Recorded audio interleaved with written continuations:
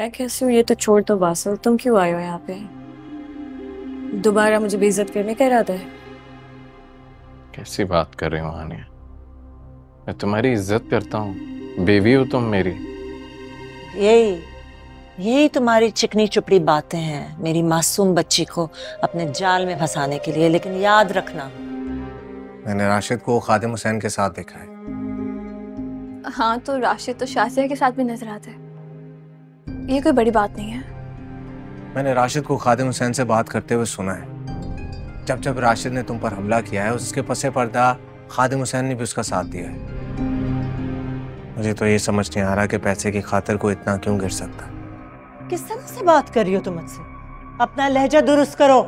आप मेरे लहजे को कसूरवार मत ठहराइए क्योंकि आप लोगों को यही लहजा समझ आता है। तुम दोनों पार्टी में भी इसी तरह की हरकतें करते रहे हो ना?